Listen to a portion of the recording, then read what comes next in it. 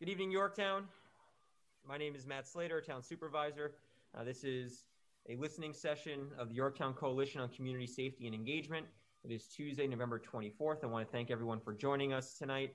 I want to ask if everyone, if they're able to, please join me uh, by rising and reciting the Pledge of Allegiance.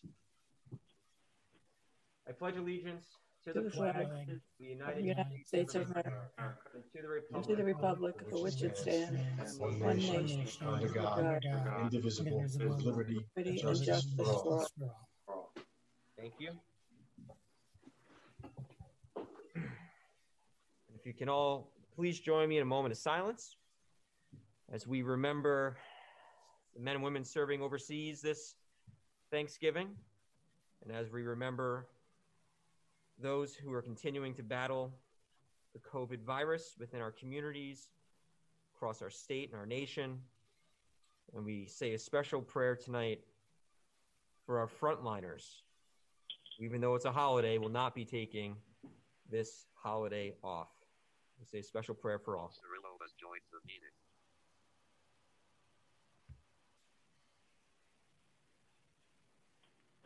Thank you. Thank you.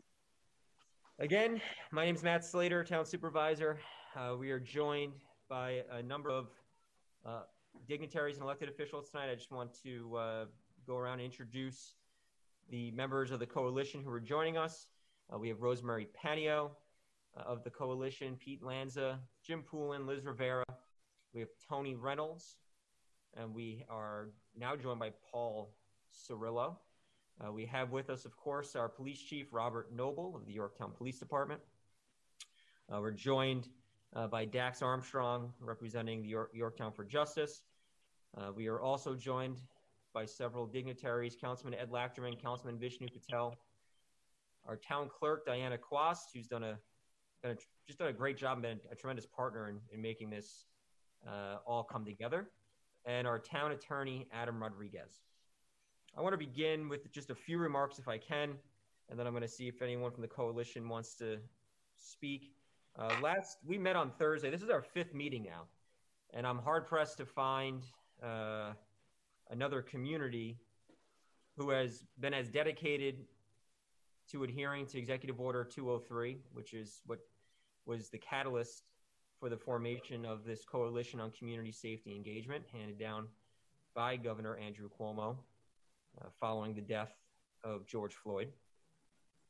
And as I just said, I- I'm hard pressed to find any other community, quite frankly, who's had five meetings to date other than the town of Yorktown, possibly the county. Uh, but that's, I think, a, a whole different set of circumstances. And I really think it shows the commitment by the members of this coalition and the commitment by this town to adhere to Executive Order 203, which we said we would do from the outset. Uh, also invest valuable time in in learning about our police department, but also learning about uh, other members of our community and hearing other members of our community. And last week we met, and there was uh, a moment, few moments during that uh, during that meeting where there was a question about written testimony that was submitted to the coalition. And I just want to just take a step back and just review what had transpired there. The coalition has received uh, a handful of written comments.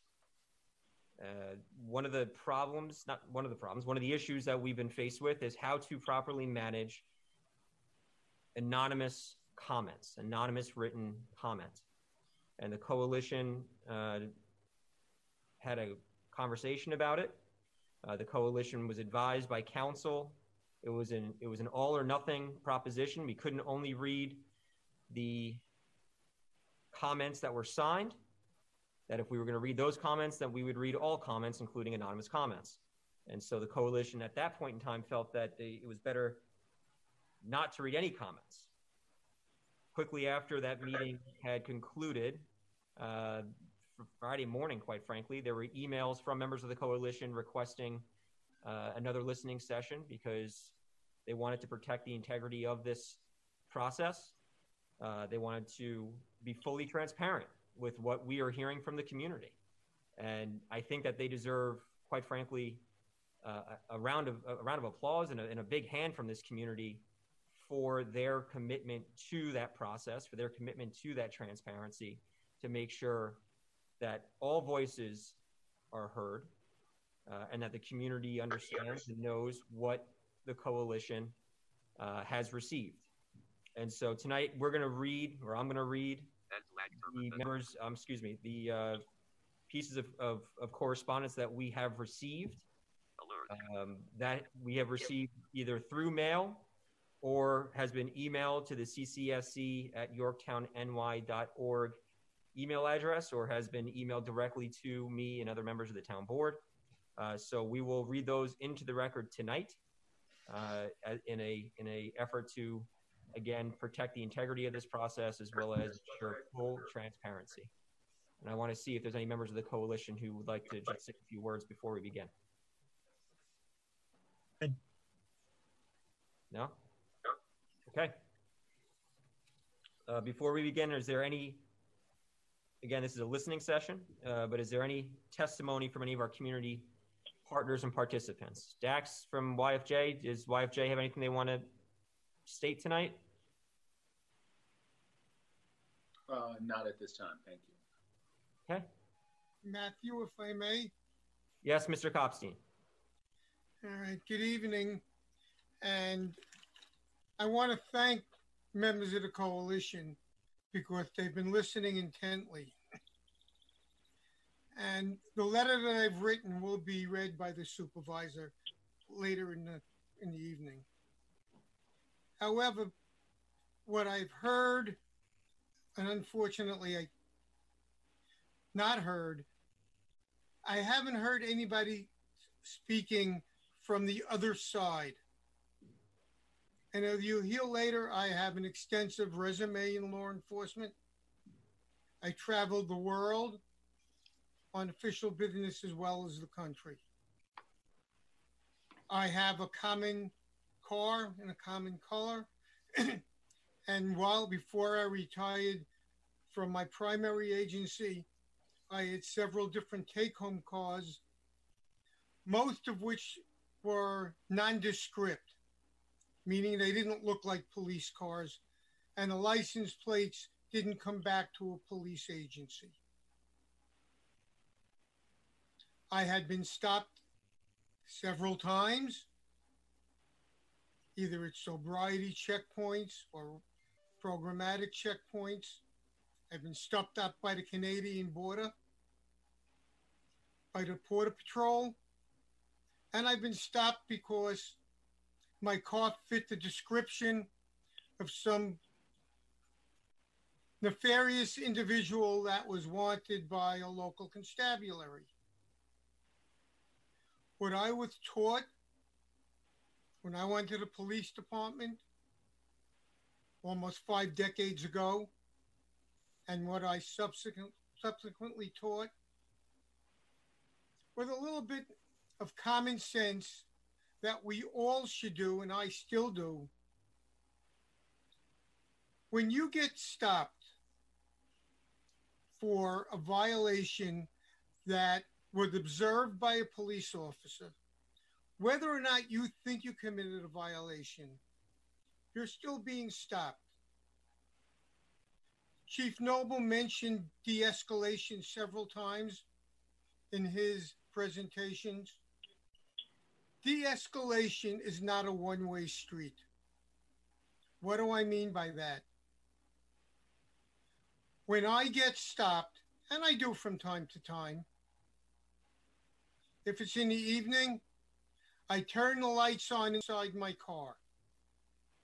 I roll down the window and my hands are on the steering wheel. So that when that officer walks up, or in some cases, military police officer, I've already started de escalating.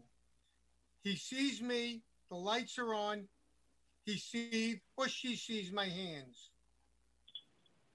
That already lowers the threshold of anxiety because the police officer doesn't know fully what he or she is walking up upon. And sometimes you may not think you committed a violation. De escalation is a two way street. Now, Mr. Armstrong mentioned the fact that he always leaves an ID in his car. That's a great idea. I don't know in my 50 years in law enforcement anybody who has been arrested for not having ID. I know people who haven't had ID and haven't had their and it became necessary to have their identification verified.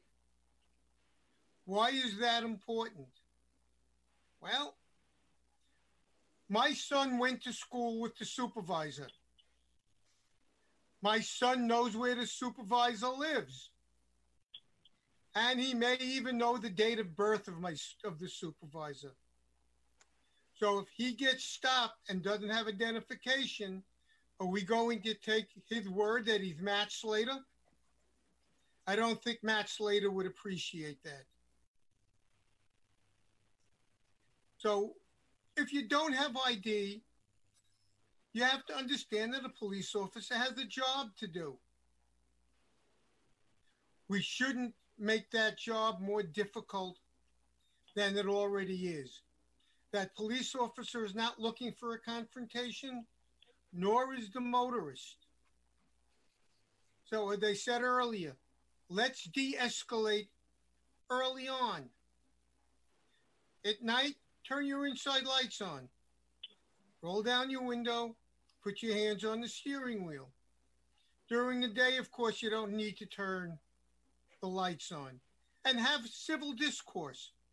If the officer's behavior is the way it should be, but you disagree that you committed an infraction, that's for the court to decide. That's not a reason for discourse or negative discourse between you and the police officer. Long as that officer's behavior is the way we expect and the way I've seen in my 30 years living in Yorktown, there is no problem. As you will find out later, I've known Bob Noble for a long time. He is a superb chief of police.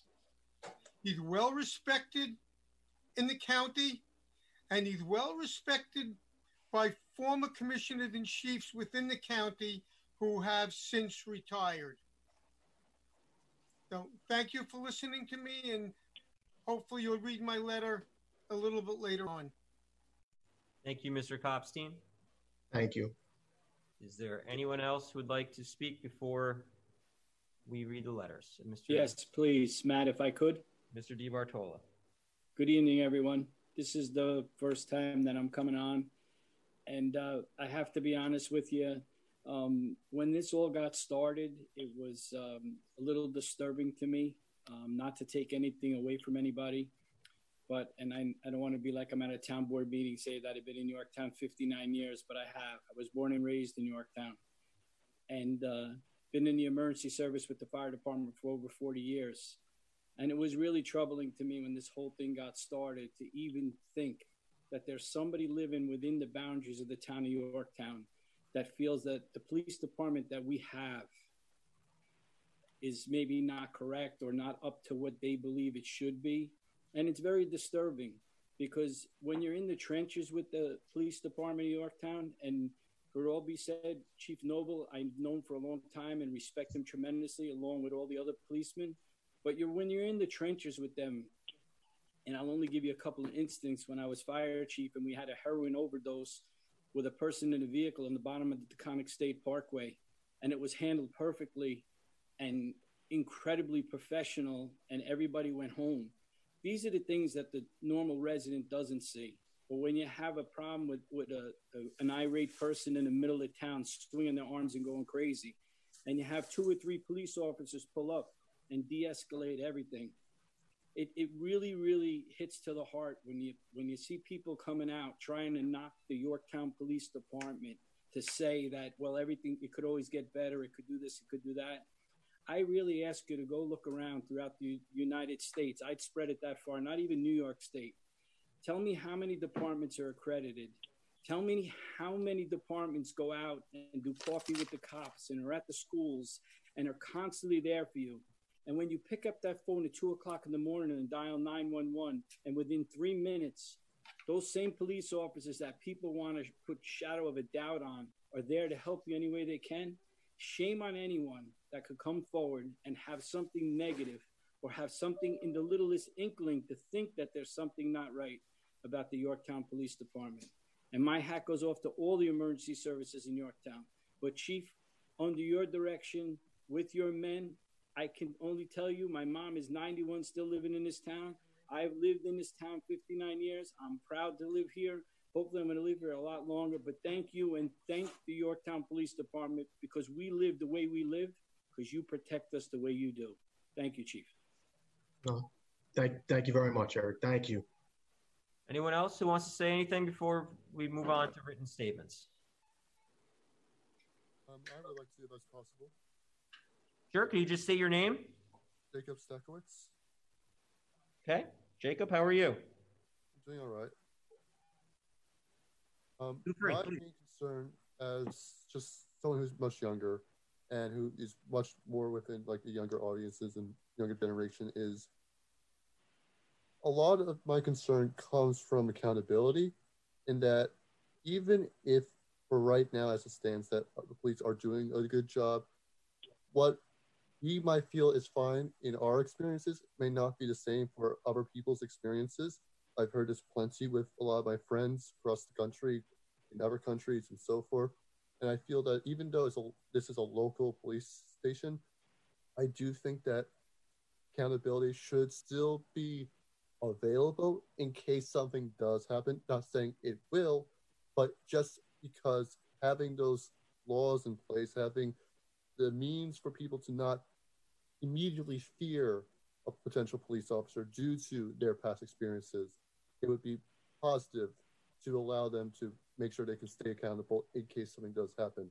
It's one of the reasons why I would love it if we, there could be a police officer or police um, a police station who supports ending something like uh, qualified immunity or and just making it accountable like any public servant because that's what police officers are meant to be they're meant to serve the community and help everybody without prejudice and to simply put help uh, not just help um, law and order but also make sure that people can be reformed and rehabilitated in case an issue instead of potentially going into a punitive direction. Thank you, Jacob. Anyone else would like to say, speak to the coalition before we move over to written statements? Okay. I don't know if I introduced him before, but we are joined by Councilman Tom Diana, who I see on the screen. Councilman, thanks for joining us. Okay, so I'm going to read. I'm going to read the statements that we've received. Again, this we've received these through the mail. We've received these uh, through the CCSE email address, uh, as well as uh, to the town clerk, uh, as well as to directly email to me and other members of the board. Uh, so we will begin. We will begin with a anonymous letter. States as follows: In response to the article in the Yorktown News requesting comment on the Yorktown Police, it brings to mind a situation that happened a couple years ago at the Firemen's Carnival behind the firehouse. I found a parking spot there in the alleyway between the firehouse and Mitchell's Hardware. Getting ready to leave, there was a police car and a civilian truck idling parallel with each other, blocking the alleyway right in front of my vehicle. Both the policeman and the civilian, who obviously knew each other, were socializing from their vehicles. I waited for about five minutes for them to move and let me out, knowing they saw me get in and start my vehicle. Since they didn't, I tapped my horn to let them know I wanted to get out. Upon hearing it, the policeman got out and approached me. I read on his face an arrogance of how dare I disturb him. I told him I was waiting for him to move so I could get out, and I tapped the horn to draw his attention to it. He told me that he could give me a ticket for disturbing the peace, then moved. Just his attitude left an indelible impression on me as to how some policemen have this attitude that they are beyond reproach and are here not to serve the community but to exercise their authority. The experience has left me with a very sour feeling towards him and the police department. Signed, an annoyed citizen. Can everyone under? I'm sorry. Can everyone hear me okay with the mask on? We do have a, a rule here with the mask in in town facilities, so I just want to make sure. You Yes, I can hear you very well. okay, thank you. Uh, next, I'll read a letter from Dr. Brendan Lyons, school superintendent from the Lakeland School District. Uh, he writes, Dear Supervisor Slater, I write to you on behalf of the Lakeland Central School District in the spirit of providing feedback on the Yorktown Police Department to the Coalition on Community Safety and Engagement. Having only been superintendent since July 1st, I have had limited but consistently positive interactions with the police department from school resource officers and patrol officers to Chief Noble. It is apparent that there is a very strong and cooperative relationship between the district and the department. I have been impressed with the department's professionalism and willingness to offer assistance whenever needed. When asking our building principals about their experience, experiences, they consistently report excellent response times and assistance during emergencies. In addition, they speak highly of both their individual school resource officers as well as the overall program, using words such as helpful, honest, ethical, clear communication, and approachable to describe Yorktown officers. The district looks forward to a continued positive partnership with the Yorktown Police Department. Do not hesitate to reach out if you should have any further questions. Thank you and best of luck with the comprehensive review, process. Signed, Brendan Lyons, Superintendent of Schools. Apologize. Okay, next we have an anonymous email that was sent to the committee through our email address. It states as follows CCSE. I watched the work session two weeks ago. I saw a presentation about all the great things YPD does for our community. I do not think anyone would completely disagree. Most of us believe that we have a community based, involved, and benevolent police department, and I feel grateful for the YPD. When it comes to the public's encounters with YPD, I have heard and personally experienced significantly many more positive stories than negative ones. We still need evaluation and evolution. New York, New York State EO 203 is intended to be a pause and reflect moment for all PDs and the communities they serve. Yorktown does not have the types of problems faced by NYPD. That does not exempt us from the push for growth. In fact, supporting the police can mean, should mean, supporting the evolution of policing, higher standards for the profession, training, and policies that help police officers learn about and address discrimination. Mandated EO 203 policy change is intended to keep the public and the public servants equally safe and protected. As I watched the work session, I noticed the presence of officers on the screen. I thought about how many of these officers are well known by the community, grew up in the community, are integral and powerful parts of the community. I thought of residents that are not lifelong Yorktowners who did not grow up here, or residents not welcomed in the same way that urban expatriates are. People who may, excuse me, people who may have not had great experiences with police in general throughout their lives. People who have had blatantly negative experiences. I thought of my friends who live in Yorktown and have been mistreated by police. Not Yorktown police, but police. How comfortable would these people be to come on a Zoom call with their face and name on display surrounded by officers? This is nothing personal against any y- YPD officer or against Matt Slater or the town board. This is just the nature of the Zoom. It's intimidating. And we do not have, um, excuse me, and we do have a problem with intimidation in Yorktown. Recently, heard from our councilwoman, Alice Roker, that even she was threatened, that even her extremely even keeled and balanced public support of racial justice was so unacceptable to a resident that someone threatened her. They were emboldened enough to publicly threaten an elected official. I've heard other stories. I know several people who refuse to share their stories here, although you need to hear them. They won't share their stories of how their children have been mistreated, threatened, harassed. Maybe they're not scared of police retaliation. Maybe they're scared of other Yorktowners. If you've been intimidated by your neighbors for your opinions or views on social issues like racism in the US, how comfortable would you be to speak them out loud to the board, to the CCSE, to YPD? To put oneself in such a vulnerable position is a big ask. And what if you have been intimidated by YPD? Couldn't you imagine the fear that coming forth in this type of arena would breed? I know of two incidents, two incidents myself that residents will not report due to fear of retaliation by police and the public. I'm concerned about the validity of this process. It seems that the YPD stance is that we don't have the issues raging in big cities with big racial problems that motivated EO 203, that were already there. That were already there. We already have the department that EO 203 is supposed to give rise to. But we cannot rely on Chief Noble's leadership and the goodness of individual police officers. Policies need to be bedded, embedded into the system. This is not disparaging any YPD officer, it's the purpose of this exercise. What issues do we have in Yorktown, and how can we address them through policy and growth? Even good PDs can become better, even good ones must. And I believe that civilian review is paramount to becoming better. We have to create an avenue apart from the police department to file complaints about the police department. This, pra- this practice is widely viewed as a key step in reform, and there are many models in New York to pull from. We might advocate for ourselves to be able to utilize county resources for multiple municipalities' oversight. If no Yorktown resident ever uses it and we have no complaints, that's great. But if someone does want to file a complaint to illuminate a potential issue, then they need to feel safe to do that without fear or intimidation. Uh, oh, excuse me, without fear of intimidation preventing the reporting. Let's do better. Thank you for your time. A proud Yorktowner.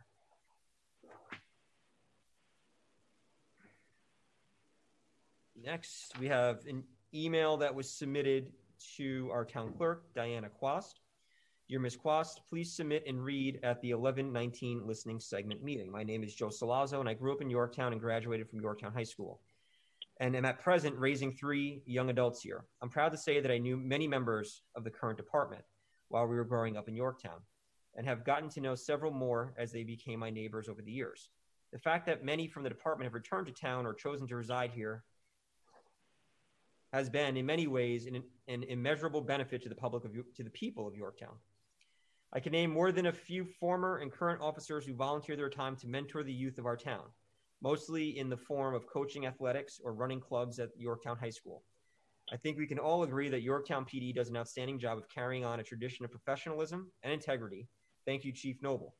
However, Governor Cuomo's Executive Order 203 is concerning to me as it could possibly discourage disrupt, or even discontinue all the benefits we enjoy from our department, some of which I've stated before. I'm not aware of what is broken that needs to be fixed. And if procedural changes are implemented, I feel they would only serve to separate the community from the department. I would remind those that would, in this manner, choose the words oversight, reimagine, and review that others that others would use the words intrusive, distrust, and hassled. At this, as this process goes forward, I would also like all involved to keep in mind that not changing anything could be a possible outcome as well.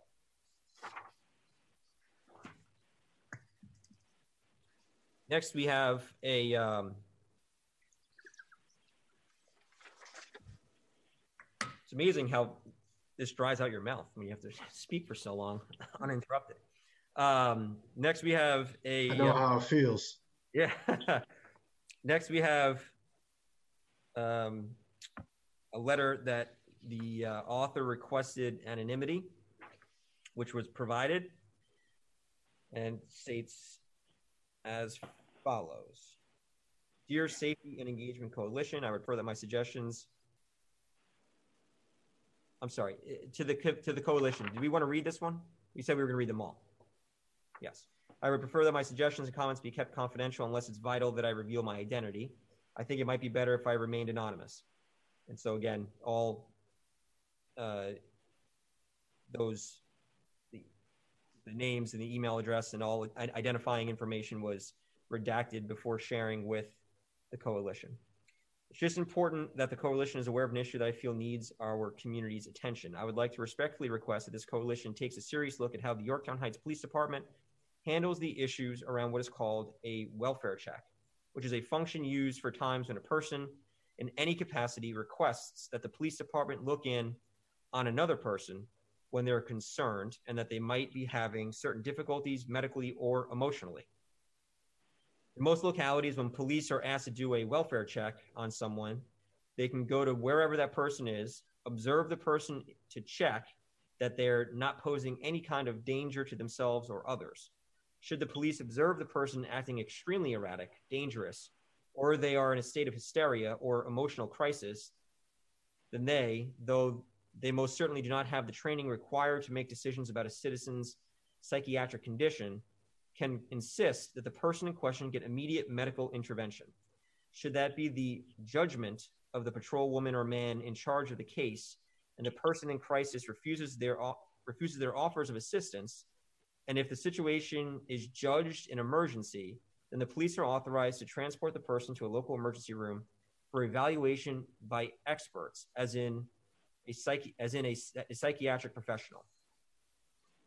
When doing the research on this issue, I was told by several state and local members of the mental health services community that in most villages, towns, and cities, as long as the person is not displaying impending dangerous or life threatening behaviors, the police will report back to whomever requested the welfare check that the person appeared to be healthy and understood that a concern had been raised and that additional follow up by professionals would be advised.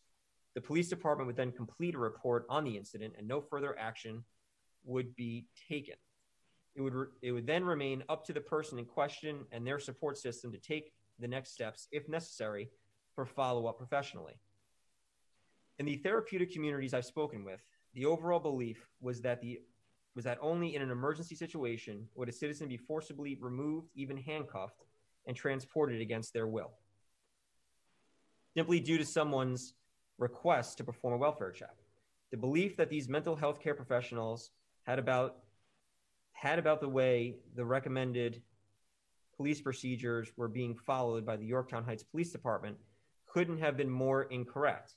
None of the individuals I consulted with about this could fathom that in Yorktown Heights, the only way the police department handles welfare, welfare checks, regardless of the circumstances or the condition of the person in question, is to forcibly take him or her to an emergency department with or without their permission. There's a lot more to this issue than I can brief in this email. But to properly understand this procedure, we need a great deal more information about exactly what is recommended in cases like this and exactly what the role of the police force ought to be playing. Absolutely anybody can request a welfare check.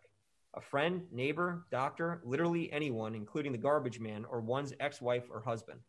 Anyone can have someone hauled away in handcuffs if they just make a phone call. I believe our community seriously needs to review this process from the ground up. Barbaric is the first word I think of when I hear these facts.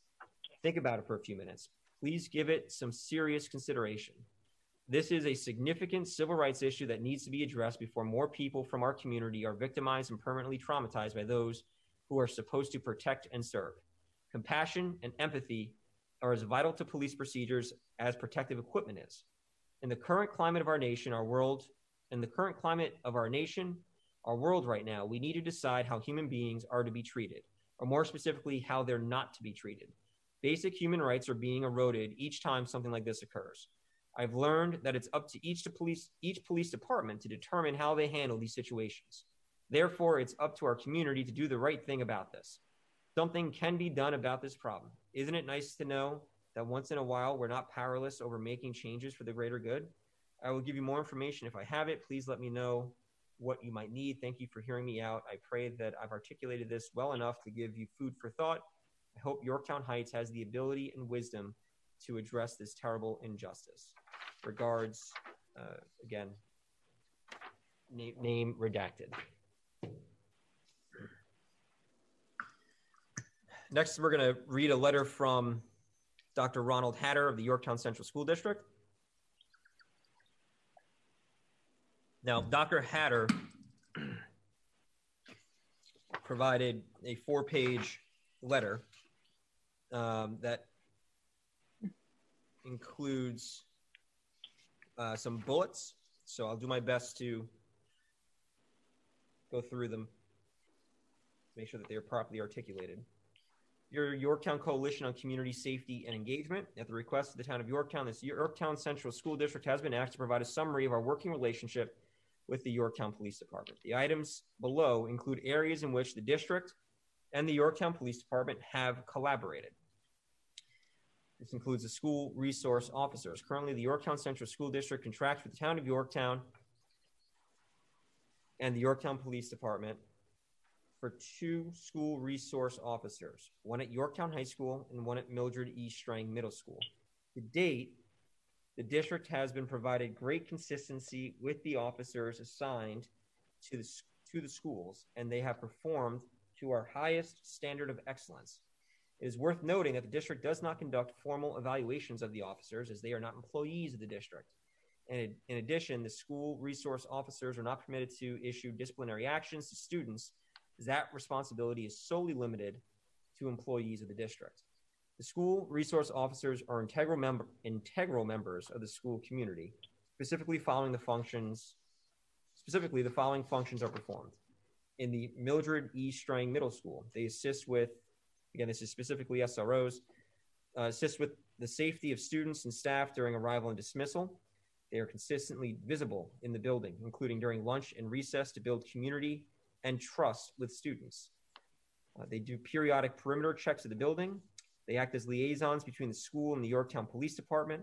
They support families at times when student safety has been a concern. Uh, co-chairs of the Building Emergency Response Team Committee, the BERT Committee. Uh, SROs also organize lockdown drills and assist with other safety drills. They co teach lessons with our health teachers on the effects of alcohol and drugs on one's body and mind, as well as the legal consequences of alcohol or drug use. They work with the bully prevention counselor on cyberbullying and social media interventions. They work with clinical staff on community resources to help families in need. They perform well checks on families. They present to parents during back to school night and coach, uh, and they coach a varsity sports team. At the Yorktown High School, they assist with the safety of students and staff during arrival and dismissal. They're consistently visible in the building, including during lunch and recess to build community and trust with students. Similarly, as we heard with uh, Strang, they, they uh, provide periodic perimeter checks of the building. They act as a liaison between the school and the Yorktown Police Department. They support families at a time when student safety has been a concern. Uh, also at the high school, they act as co-chairs of the Building Emergency Response Team Committee. They organize lockdown drills and assist with other safety drills. They also at the high school teach lessons on the effects of alcohol and drugs on one's body and mind, as well as the legal consequences of alcohol or drug use. Also at the high school, they work with clinical staff on community resources to help families in need. Uh, they also perform well checks on families. They present to parents back, uh, during back to school night. They coach a varsity sports team. Uh, they also act as advisors, mm-hmm. advisors a co a co-curricular club, and attends large school events such as athletic contests, graduations, and prom. Logistical planning. We rely on the expertise of the Yorktown Police Department to assist us in logistical planning for events where large crowds are expected. Such events include Friday night football games, back to school nights, school arrival and dismissal to start the start of the school year, and other highly attended events. The school district is grateful for the logistical expertise provided by the Yorktown Police Department, as their expertise surpasses the district's capacity in these areas. Reporting of suspicious and criminal activity. As a school district, we are perpetually on high alert to provide our students and staff with an environment that protects everyone from individuals looking to commit any type of attack on our schools. Violent attacks perpetrated on schools is a very scary thought, but it is a potential that we face daily. The Yorktown Police Department is responsive to our calls, and they arrive at our schools within minutes, if not seconds, upon our alerting them of a concern. They demonstrate a profound commitment to ensuring our students and staff are safe. Lockdown drills. As part of our school's preparation to respond to an active shooter situation, or any other emergency situation. Each school performs safety, several safety drills during the course of the school year. In several instances, the Yorktown Police Department will send a team of officers to our schools to observe the process and participate in the training. The Yorktown Police Department debriefs each drill with our emergency response team and provides us with specific feedback and recommendations. The expertise that the Yorktown Police Department provides in these situations is invaluable. Consultation. As the superintendent of schools, the relationship that I have forged with Chief Noble is one of mutual respect, collaboration, and communication. It is reassuring to know that I am able to call Chief Noble or any of his lieutenants to discuss any questions or concerns that I have. Chief Noble has accepted my calls at all hours of the day, including late in the evening, on weekends, and holidays. Chief Noble and his department have demonstrated patience, support, and kindness in any in every interaction with me and my administrative team. Drones. As part of a campi, uh, excuse me, as part of a campus safety audit, the district underwent a review of its campus site lighting. Our intention was to ensure that there was adequate lighting for pedestrian traffic during the evening hours throughout our middle school and high school campus. With many events on the high school campus held in the evening, it was important for us to identify areas that were not properly illuminated. The Yorktown Police Department was integral in assisting us through this process because they were able to fly a drone on, a drone on our campus during the evening and provide us with aerial images of our campus. Together, we were able to identify specific locations on our campus where additional lighting was necessary. Additional collaboration. Chief Noble and the Yorktown Police Department provided us the assistance for a car parade for the class of 2020. In the midst of the COVID pandemic, the district was researching ways to make the end of year recognition of our class of 2020 more special while minimizing the health risks in a large scale gathering. Chief Noble graciously worked with us to coordinate a car parade for our students, and this event was profoundly appreciated by our students, their families, and our district. Another example of our collaboration was the first responders night during a home football game. In 2019, the Yorktown Central School District honored the first responders of Yorktown. Chief Noble and his department participated, and Chief Noble assisted us in contacting the veterans of the armed forces who live in our community. Chief Noble also organized a flyover by the Westchester County Aviation Unit. It was truly a memorable evening for all. At times, Chief Noble has joined me in visiting our middle school and high school to have lunch with our students. Our students have enjoyed having lunch with the police chief. The questions that our students ask of Chief Noble have impressed me time and time again. We appreciate Chief Noble taking the time out of his busy schedule to connect with our students. Conclusion The Yorktown Central School District and the Yorktown Police Department have established a strong working relationship. We are pleased with the support we have received from the Yorktown Police Department, and we look forward to continuing our relationship as it currently exists. Sincerely, Dr. Ron Hattar.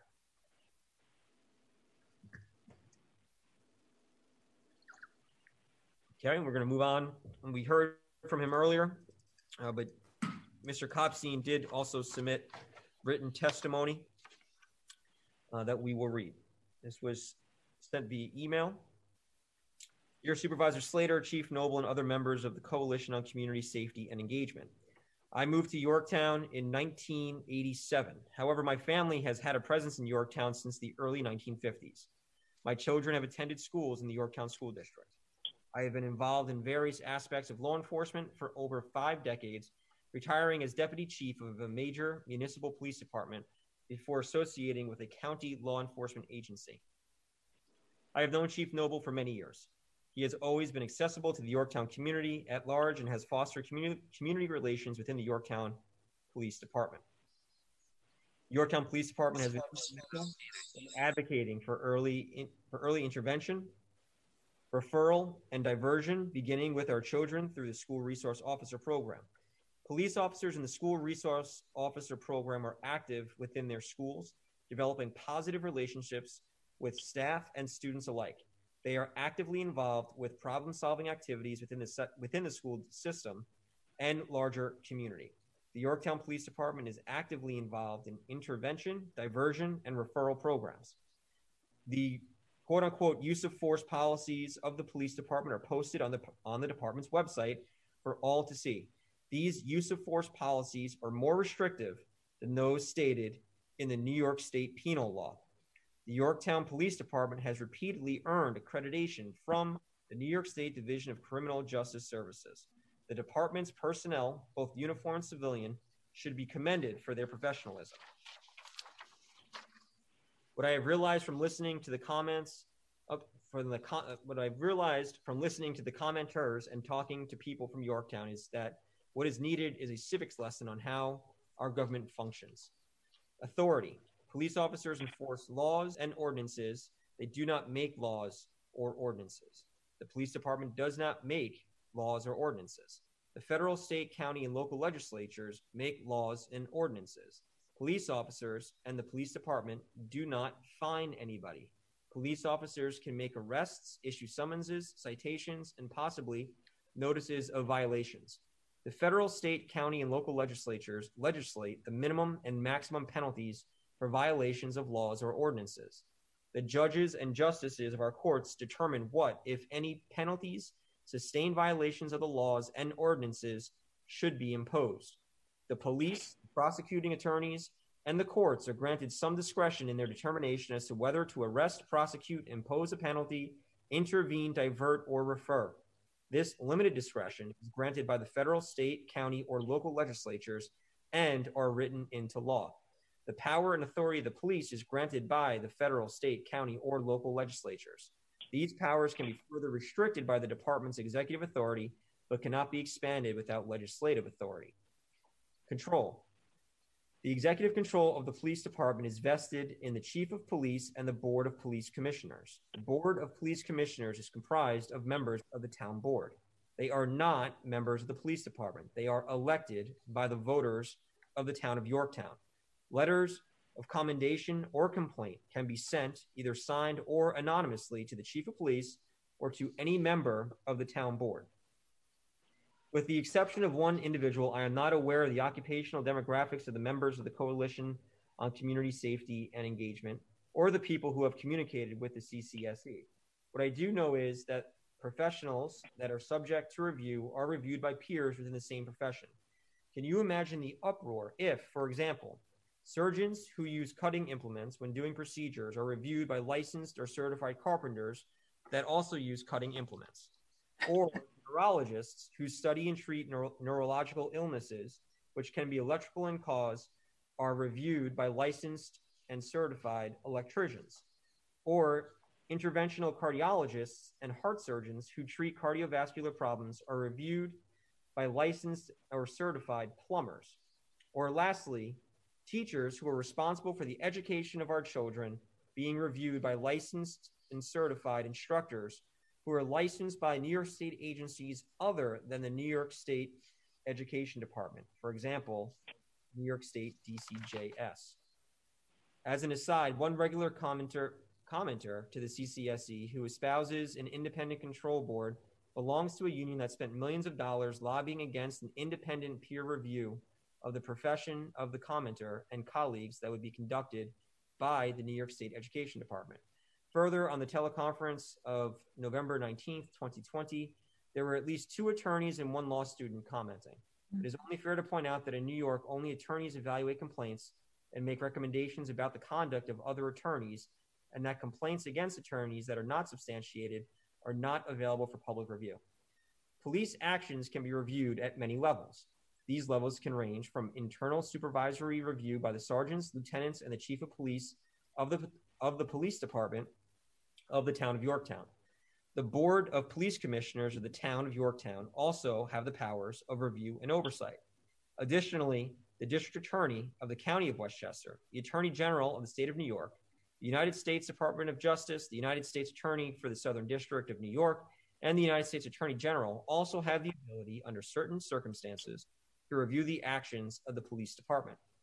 Finally, comments that are made concerning Justice for or Yorktown for Justice lack one item. What is missing is their definition of justice.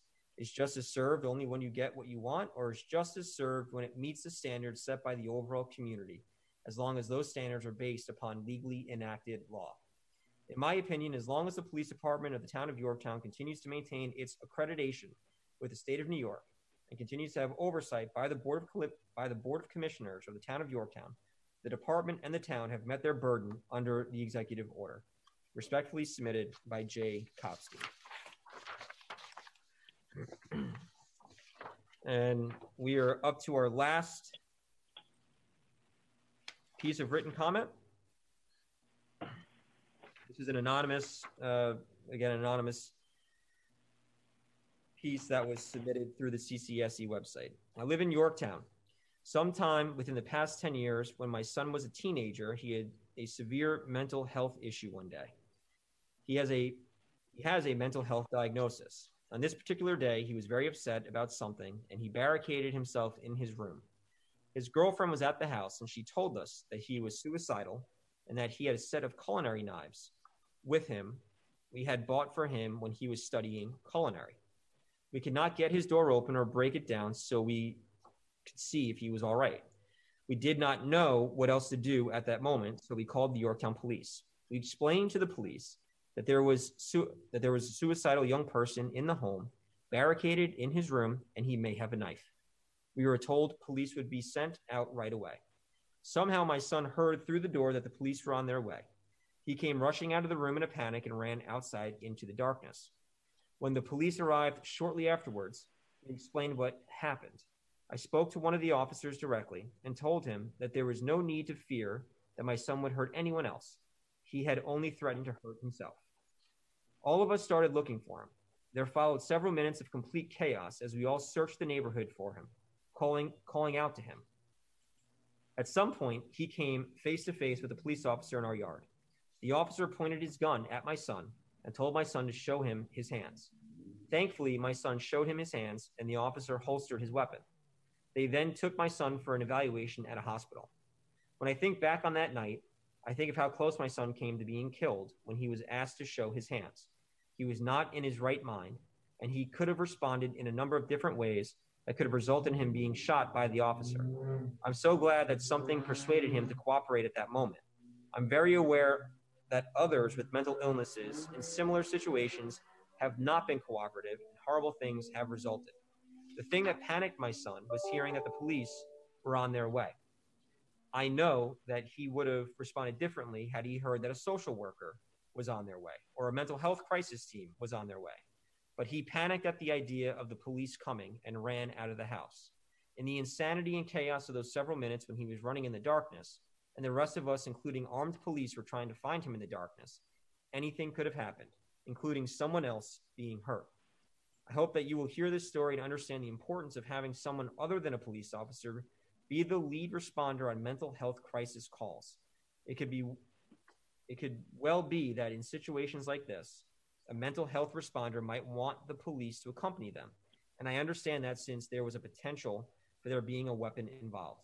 However, com- however, someone with more mental health training than a police officer should be the person in charge in a situation like this. Someone who can diffuse a situation. I'm not writing you this to say that the police officer who drew his gun did something wrong. I'm not familiar enough with the police protocol to know whether or not that is true. But I do know that my son remains traumatized to this day by the incident, and it was many years ago. Even just asking his permission to tell the story revisited the trauma of having the police aim a gun at him at a time when he was already in an emotional crisis. As a result of this experience, I would not call the police in such a situation ever again. I don't know what I would do, but I would not risk a repeat of that horror. I hope you will consider this and recommend that the town of Yorktown do whatever it can to make sure that people like my son in crisis are helped by someone who has training to deal with that specific kind of crisis. A terrible tragedy was barely averted that day, although the trauma has not gone away. Next time, the result may be deadly.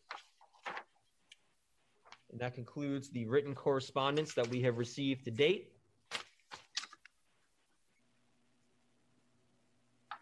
If the co- anyone from the coalition have any comments? None? Supervisor, I had a question, if that's okay. Look, Just a little clarification. Yes, Councilman Lachman. I, I just, I was hoping the, the chief could jump in.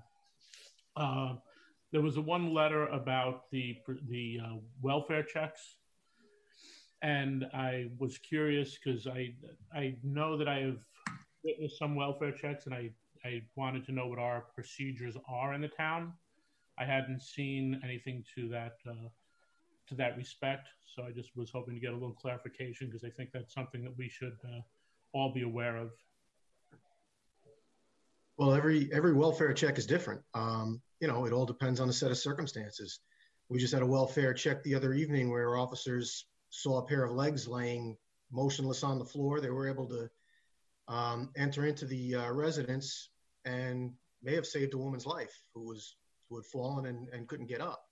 Uh, you know, there are other welfare checks where you know the ones that are the trickiest are the ones with you know the mental health type type uh, calls where you know the officer has to make a decision okay do i walk out of the house and leave this person here and you know if something happens to that person um, you know were we negligent by leaving that person alone, or do we take the, the facts and a set of cir- set of circumstances that are presented to us, and um, you know have to insist that that person uh, you know probably get checked out by um, you know at uh, either Northern Westchester Hospital or uh, or, or another um, you know facility uh, close by. But um, it's it's based on the facts and set of circumstances that the officers are presented with, and um, people are not getting dragged out in handcuffs at, at, at welfare checks, you know, on, on, unless they are very unstable and pose a threat to themselves or somebody else. Um, thankfully, that happens very few and far between. Uh, most of the welfare checks, thankfully, are are uneventful, and um, you know, most, if not all, I mean, turn out very positive. But there are limited circumstances where there is a crisis, and we do the best that we can to uh, to handle those crises. But again, as I had said in, in, in prior presentations, we have not had a complaint of police brutality in the close to you know five years that um, you know in the four and a half years that I've been I've been at the home. Um, so that means we're handling these incidents with either non-escalation or de-escalation, and handling most of them quite well. Very good. Thank you, Bob, for the clarification. Yep. Okay. With that being said, Dax. Uh, just I just wanted to say, um, I you know, I don't think anyone would argue that the police don't have a difficult job, and they put their lives on the line, and we have very good officers, and we have a very good police department um, here in Yorktown.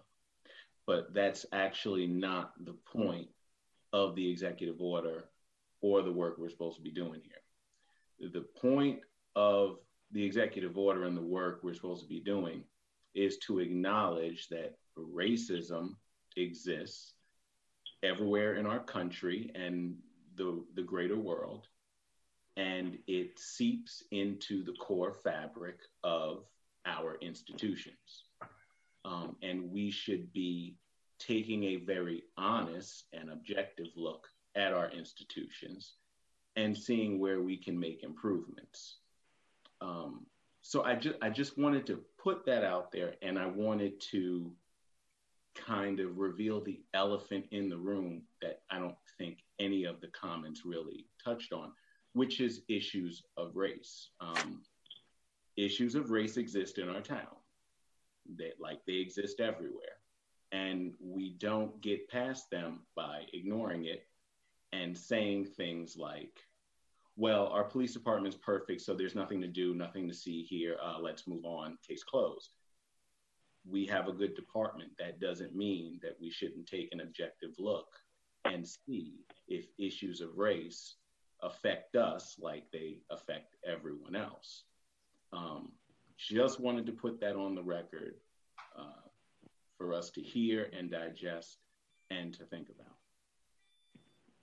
Thank you, Dax. The town board has actually already been on the left record three, if not four times this year, condemning racism, hatred, bigotry.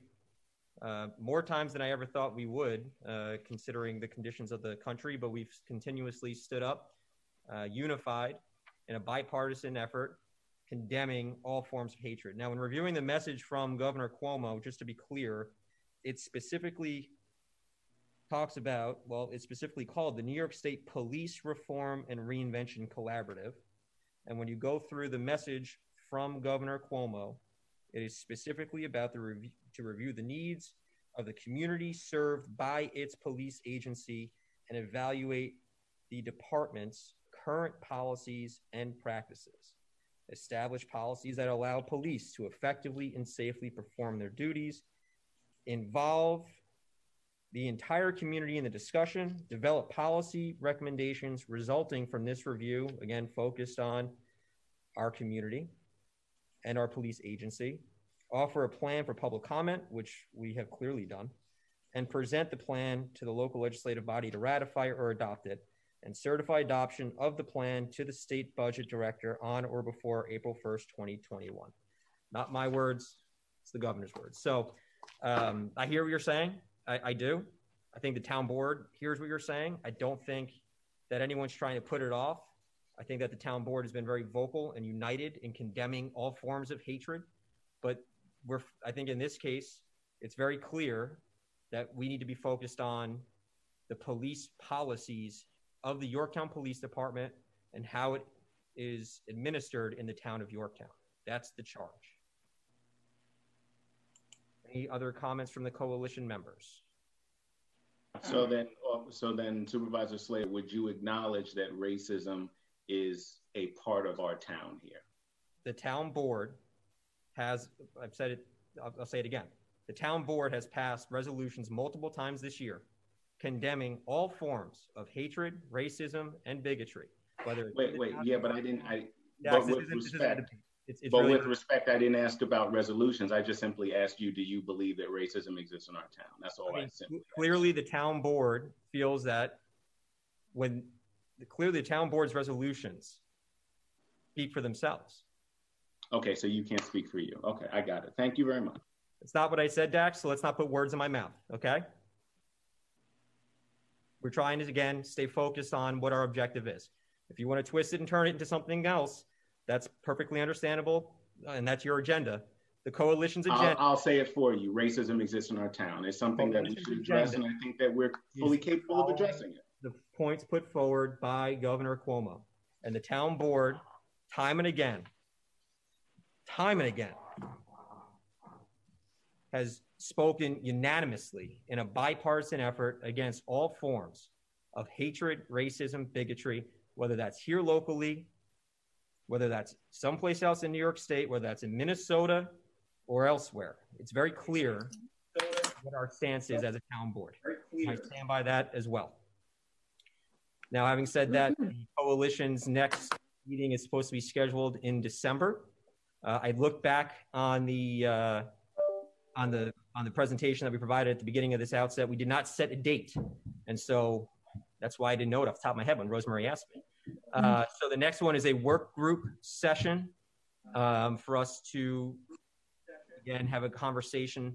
I think the next work group session uh, is should be focused on beginning the drafting of our of our of our initial report, of our initial recommendations, which again, if you follow the process, then goes out for public input. Again, this will keep us on uh, the same timeline that has been uh, proposed by the governor's office. Uh, and so, looking at the calendar here,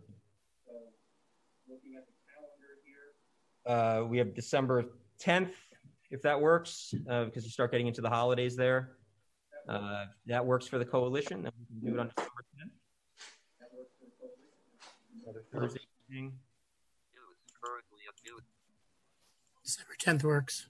It works for me. Works. I, I think there's someone that wants to ask a question, Matt. There's two people that do. Yeah, Okay, well, we'll get there in a second. okay. So the coalition, thank you, I appreciate it, Liz. So the the coalition's going to be is going to be move, meeting for our next work group meeting uh, to begin discussions on drafting on Thursday, December 10th. Diana, does that work on your calendar? I, sh- I, I apologize. I should have asked you first because I know you're the keeper of the calendar here. Yes, it's fine. Seven thirty start. 7:30 start, and we'll What do would you like for us to come prepared to do at that, at that meeting? I think we should be ready to begin discussing um, uh, what some of our we're going to begin we're going to begin discussing recommendations and and how we're going to draft our report, which would then be published for the community to uh, to review, and then we will have a, a, a pu- a public public hearing in a sense about what those recommendations will be uh, before it gets turned over to the town board. That's the process laid forward by the guidelines of the governor's initiative.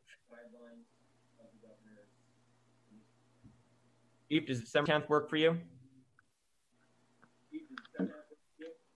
Yeah. Me, You say it works for you, it's got to work for me. Very good. All right. Uh, so we had, I think, we, I heard we had two other comments. Okay, Jacob. just want to talk about a little bit between the um, the story I heard before regarding this uh, attempted suicide and uh, Dax's comments earlier. Um, I feel like it's not really about a um, a resolution regarding racism because it's basically what it comes to. It's just race. The resolution is saying racism is bad, and I think everybody can understand that racism is bad. What I think should be important is recognizing what racism is in all forms, not just the most blatant, but also the most uh, the smallest ones, the ones that you that people very easily cannot notice, the ones that you would have to not only recognize but also be informed by due to how how structural racism has been in this nation for decades, for centuries, and I think that uh, having a resolution to say racism is bad is not the way to go for it. I think it's better to recognize that racism does exist, racism exists locally, and to not ignore it, and also to specify, actually, to like basically improve the definition of what racism can look like. To help expand on that, you could allow people to be informed. As I remember from uh, locally in Yorktown, there's been a lot of pushes in uh, Yorktown schooling to in, classes to push for um, like racial acknowledgement of the, the country of local level and so forth, that would be immensely useful because the biggest weakness, the biggest uh, way to combat racism, to combat bigotry, to combat hatred is education, to inform people, to acknowledge issues, to uh, say that there is a problem, and just have the steps to solve it. So I do think that it's better because no matter if it's bipartisan or if it's partisan, whatever, it's going to exist. And it's better off to try a group together to figure out what the solutions are that are binding, that can, that have uh, scientific uh, background to them. And by improving, like, especially, especially education, especially education is probably the biggest factor involved. That would likely make so much better strides in the solution in the future for our generation, next generation, and even past generations. We can have these classes potentially be expanded to maybe the elderly or people who might not be in school. Something like these town meetings we have here, we can also expand to just education about our community. I know that my mother helps immense, pushes a lot of this with the race amity and race unity groups. Having those type of groups expanded more would be such a great addition because it allows people to be taught on what they might not even realize is racist or might not even realize is oppressive to other groups. And that's, I think, what's really, really important here. So I do understand that even if you say that racism is bad or make an acknowledgement or whatever, saying what to do and then making actions to actually improve it are two different and two major different things. Thank you, Jacob. Uh, I can tell you that the school districts uh, I know the Yorktown Central School District has already has already created a committee uh, to enhance its curriculum uh, geared towards exactly what you were talking about, which is great. Uh, again, the town board has been quite clear in its complete opposition to all forms of hatred, racism, bigotry. I think that if anyone wants to tell themselves that there's not racism in every community in their in country, that they're that they're kidding themselves. And that includes ours but the town board has been very clear that we, of course, oppose any form of hatred in not just our community, but every community. And I, I said what you're saying, Jacob, about education. I think the school districts are making great strides in their efforts there. Uh, we obviously do not um, govern the schools. The town does not govern the schools. Those are separate bodies, uh, but they are addressing that. Eric, you wanted to say something? Yeah, just uh, Mr. Armstrong. It just seems that you're you're just set in one way. I mean, the supervisors come out numerous times about how they feel in town, what they're doing, and you just don't. You just seem to be against it. I mean, your actions, even now watching you on on the screen, you're pushing back like you're upset, and I don't understand. I mean, I think everybody's trying to do the best they can, and I don't know if you're not hearing what you want to hear or whatever, but just to see your actions it's um it's just interesting you know i i just I, it just bothers me because you're coming from a, a, great group and you're trying to do the right thing but to see your actions it's kind of speaking loud and clear and and i don't think it's good i think there's a plenty of ways that we could work this out and it could become better but the supervisor has stated many times, and, and I agree with them that everybody's feeling to pull in the same direction. So I, I just wanted to bring that forward. That's just how I felt. Eric, thank you for your comments. With respect, I just have one question. Do you believe that racism exists? In the town of Yorktown? Do you believe that racism exists in the world? In the world, course. yes. Of course. Do you In the world- believe that Yorktown exists? Do you believe that racism exists in Yorktown? No. Oh, there you go. So, th- but you know what? But at least you gave a direct answer, and I appreciate that. And all I'm looking for is a yes or a no for us to start the conversation. But, Because but, the convers- but you- Mr. Armstrong, Gentlemen, the gentlemen, this conversation, isn't a me. you can hold on, hold on. If you can't even talk about the issue first, you can't begin to solve it. So my No. frustration is just us starting from a baseline, right? And and I that, that was my frustration. Understood, but you know what? Y- y- You're a very intelligent person. You got a lot going on. You could tell, and I think the way you go about it is a little different. Matter of fact, you could get my number from people in town. I'd be more than happy to sit and talk to you. Like I said, I've been in town a long time, but you just seem to be upset, and I don't think it's a good way to go because I think a lot more could come from it. And you're talking about somebody that everybody knows me for a long time in town. I got a real short fuse, but I think talking it out and working it out and where you. you're coming from, um, a- a lot more could be done. And you could see you're getting upset, and I don't think it's it's it's it's beneficial for your cause, for anybody's cause. And I respect you greatly, but I just I wanted to share that. Thank you, Eric. Appreciate Thank it. you for your comment. Thank you. Eric. And I don't know if Mr. Armstrong heard me say, state earlier, though, but again, the town board is opposed to racism, and we have acknowledged racism. And I think that if you don't acknowledge racism across the country, Across the world. Even even in our own community, you're kidding yourself. That's right. Kidding yourself. But we're at the point where we can't admit that racism exists in our town. That's, What did I just say? I just said it did. lies. I just I just said it did. This is now the third time that I've said it tonight. All right, I yeah, I I'm you know if you're not hearing what you want me to say. yeah, But again, I yeah. said racism exists across the country, including in our community. And if you don't acknowledge, it, you're kidding yourself. That's what I've said now four times. So I don't, I don't know how else I can say it. And the town board has unanimously, in a bipartisan manner, condemned all forms of hatred and racism across the board multiple times. So I, I just don't know what else you're looking for. We are here to focus on the directive of EO 203. And, and I understand that you may disagree with that, but that's what we're charged to do. We're charged with looking at our police department. And that's what the coalition has been spending an awful lot of time doing. And so, with that being said, our next meeting is on December 10th, where we will be, uh, excuse me, it's correct, Thursday, December 10th, where we will be discussing the next steps in this overall process following the timeline that was put out uh, as part of the guide, uh, which would next step be re- uh, a drafting of the report and recommendations. So, I, so if the coalition could be prepared to have uh, some ideas and uh, be prepared to engage in a conversation about uh, what that report and what the proposed recommendations would like to see uh, Uh, included in that report, that would be, I think, the appropriate time for us to have that conversation. Are there any other comments from any member of the coalition? Good. Okay. That being said, I want to wish everyone a very happy Thanksgiving. Thank you. Same to you. Dave, thank you Thank for you coming all. another night. And we will talk to everyone on December 10th. Thanks so much. Have a great night. Thank you. Night. Thank you. Have a good night. Thanksgiving, everybody.